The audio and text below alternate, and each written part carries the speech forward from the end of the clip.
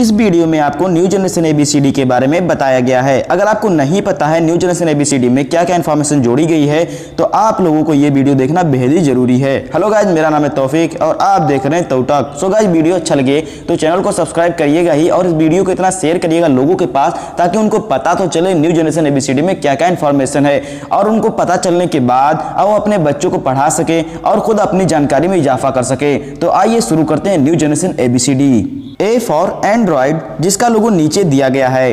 अगर आपको नहीं पता है एंड्रॉयड क्या है तो हम अलग से इस पे वीडियो लेकर आएँगे और आपको बताएँगे एंड्रॉयड क्या है।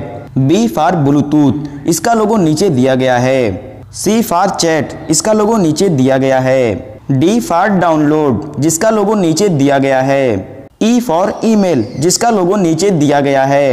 एफ़ फॉर फेसबुक जिसका लोगो नीचे दिया गया है। जी फॉर गूगल जिसका लोगो नीचे दिया गया है। एच फॉर हार्ड डिस्क जिसका लोगो नीचे दिया गया है। आई फॉर आईफोन जिसका लोगो नीचे दिया गया है। जे फॉर जावा जिसका लोगो नीचे दिया गया है।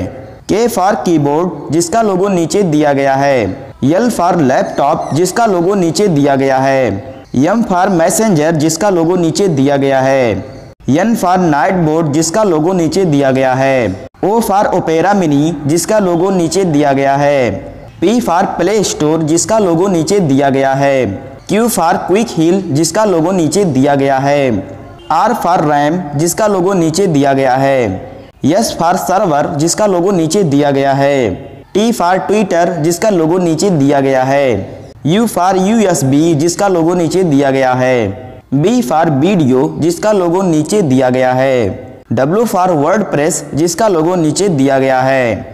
एक्स फॉर एक्सपी विंडोज़, जिसका लोगो नीचे दिया गया है। वाई फॉर यूट्यूब, जिसका लोगो नीचे दिया गया है। जेड फॉर जोरपिया, जिसका लोगो नीचे दिया गया है। आज की इस वीडियो में आपने न्यू जनरेशन एबीसीडी के बारे में जाना। उम्मीद करता हूँ आपको ये वीडियो पसंद आया होगा। अगर वीडियो पसंद आया हो तो प्लीज़ इसको लाइक करिए। अगर वीडियो पसंद नहीं आया हो तो डिसलाइक करिए। अगर आपके मन में कोई और सवाल है इस वीडियो से रिलेटेड तो हमें कमेंट कीजिए। मैं उसका आंसर ज़रूर दूँगा। I hope dislike video. Thank you.